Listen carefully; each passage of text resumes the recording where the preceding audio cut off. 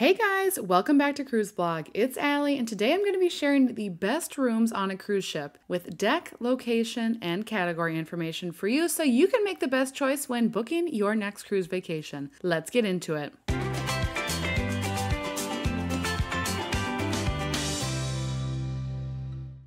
After you've picked the perfect cruise ship and itinerary, you will have to decide what stateroom you want to choose.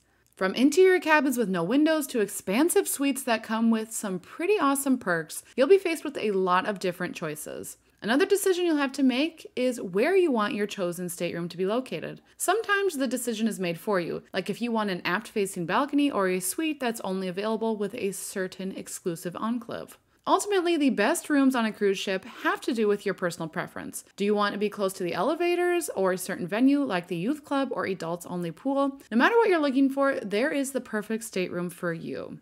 So, if you are looking for the best cabin location to avoid seasickness, you'll want to choose a low and midship cabin with a view. While seasickness is not as common as first time cruisers might think, if you're worried about feeling ill, you should choose a stateroom that is midship on a lower deck. As a ship rocks and rolls in the waves, it is the most stable at its lowest and most central point.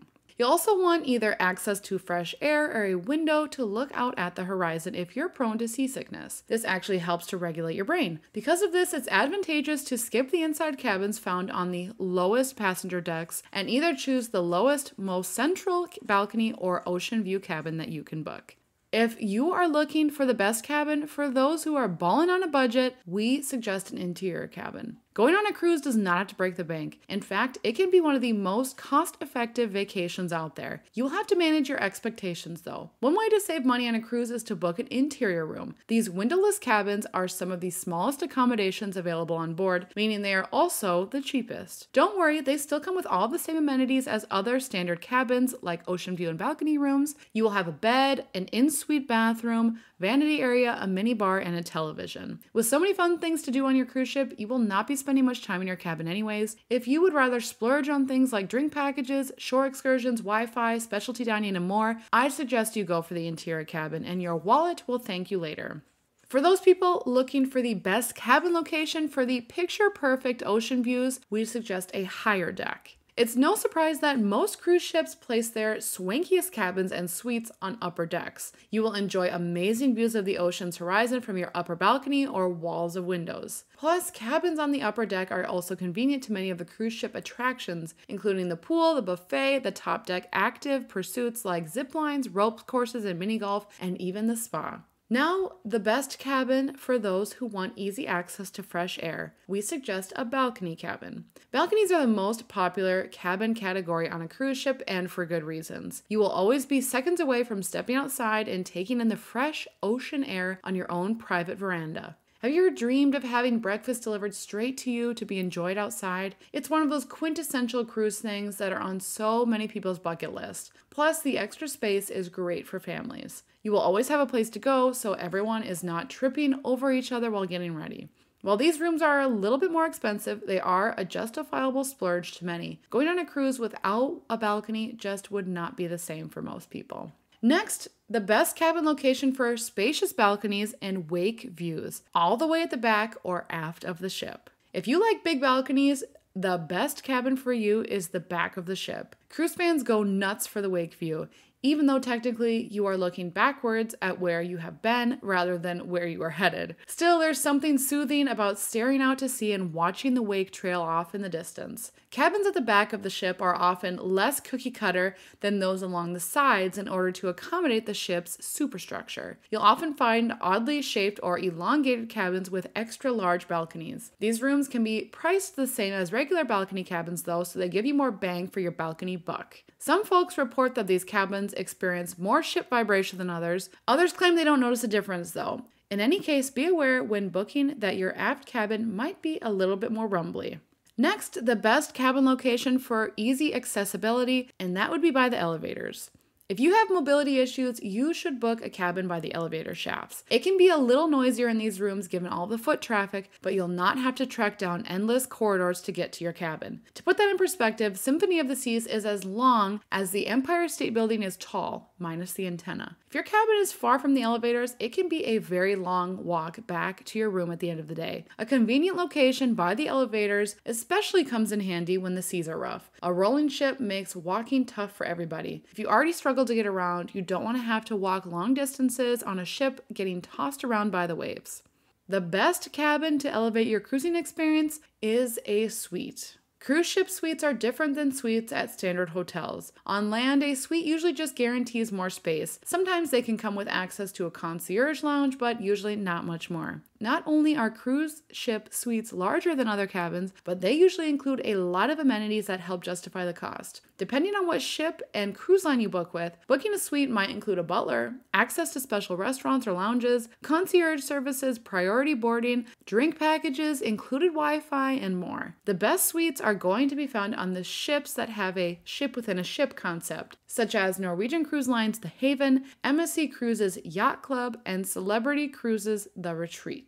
With these, you'll gain access to exclusive enclaves available just for suite guests. They're a great way to escape the normal crowds that you'll find on cruise ships. Thanks to the private sun deck, you will not have to worry about beating chair hogs on the pool deck. Plus, dinner will feel more intimate as you won't have to worry about eating in the ship's main dining room.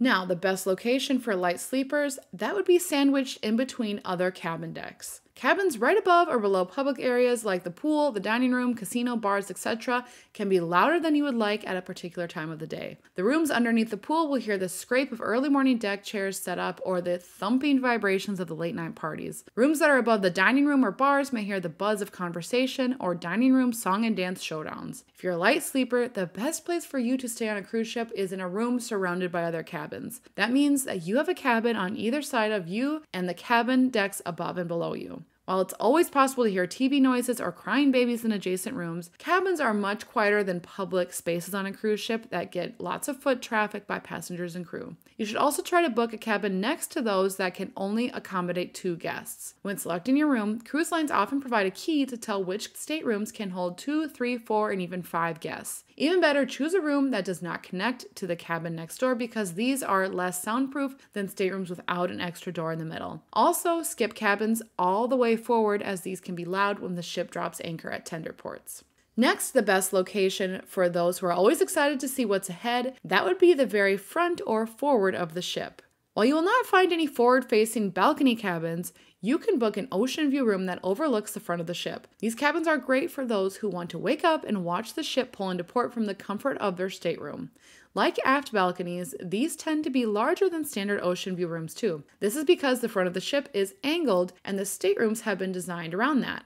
With these, though, it's important to warn you that these are prone to feeling more motion than cabins that are more centrally located. Moreover, they will be further from elevator banks, meaning that you'll have a longer walk to and from your stateroom. Of course, this is a minor thing for a lot of people, and the spectacular view of the front of the ship make up for this inconvenience.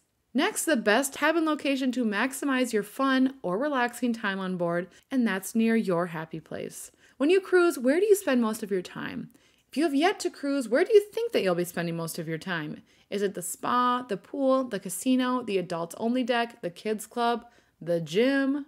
The best cruise cabin location for you might be the one with the shortest commute to your favorite happy place on board. If you're going to be playing poker every night till 2 a.m., maybe you choose a location that is a quick walk from the casino. If you want to sleep in as late as possible and still be the first person to snag a primo lounge chair at the pool deck, then pick a room on the Lido deck or one that's just a few steps away from the closet stairwell on the deck below. Do you want to roll out of bed and get breakfast? Well, then I would choose a cabin that is a deck or two away from the buffet or the main dining room. Spa cabins were designed to give spa lovers close proximity to their treasured thermal suite.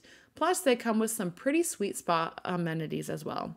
So don't waste your time trekking down the hallways and waiting for the elevators. Position your home away from home to be as close as possible to your favorite onboard destination to maximize your vacation time. All right, everybody, those are the best rooms on a cruise ship that we'd recommend based on deck, location, and category. Comment below what your favorite stateroom, category, and location is on a cruise ship, and be sure to like and subscribe to Cruise Blog so you can be notified every time we have a new video. Thanks for tuning in today, everybody, and have a great day.